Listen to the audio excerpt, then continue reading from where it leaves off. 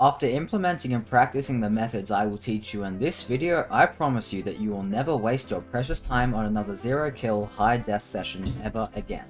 To get an idea of where I am at and my skill level at PvP, I've put the highlights of my latest flight on the screen.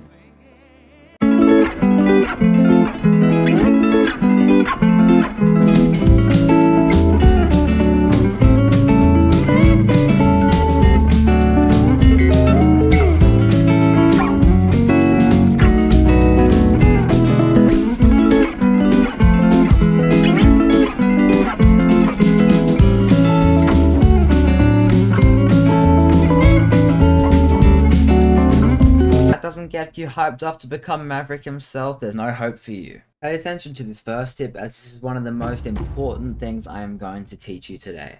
I wish I learned this way sooner than I did, and that, my fellow pilots, is breaking contact and defending when your missile goes active. When I was learning, the amount of times I shot a missile and just kept flying hot towards the bandit just to get slapped in the face with an AMRAAM was astonishing. You might be thinking, okay, so now I know that I'm meant to go defensive after a missile goes active, but how the heck do I know when my missile has gone active? The answer is quite simple, yet it is vitally important. However, sadly, it is overlooked by many new pilots. New pilots tend to shoot a missile and keep hold onto the bandit, giving the bandit's missile a nice and straight path to the pilot's face. And this itself is one of the biggest reasons why you are losing fights. So, how do you know when your missile is active in the F-16? Well, let me show you. As you can see, we're going to pause here. We got A10 there. That means 10 seconds until the missile goes active. So let's go ahead and fox.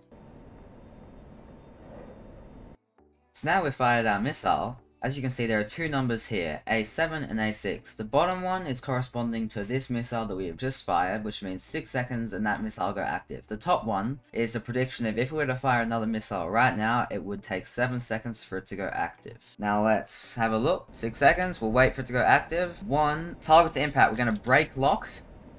I'm going to start evading. There he is down there.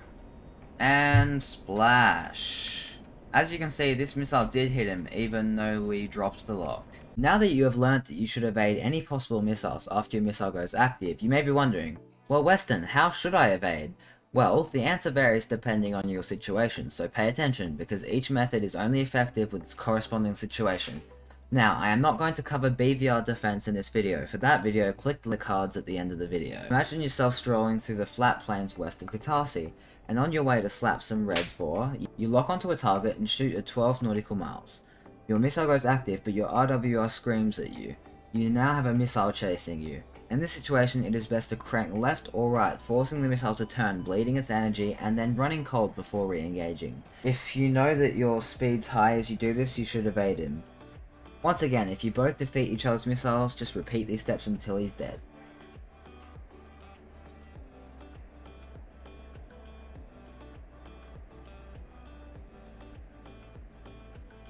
Let's say you're flying through the Caucasus mountain ranges in growling sidewinders, and you lock a target 20 nautical miles away, and you fox at 15 nautical miles away.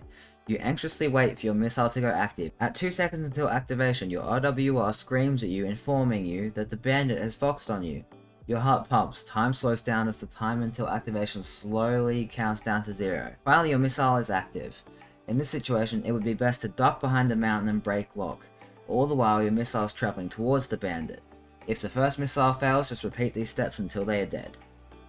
Many pilots tend to get tunnel visioned on their radar screen. This is not a good idea. You need to balance looking at your instruments while looking around the sky with your eyes. If you are always looking at radar, a plane can see you, outflank you, and shoot you down with a Fox 2. So remember, always be looking out of the cockpit as much as you are looking at the radar instruments. You'll never see me getting tunnel visioned on my radar. I'm always looking around and then glancing at my radar.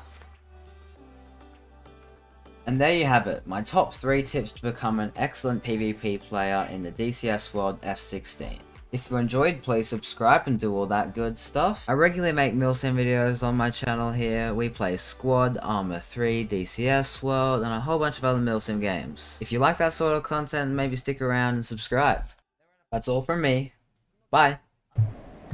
Please don't get too close though. Not mind us not going active on you. I'm already chased. I'm on his tail.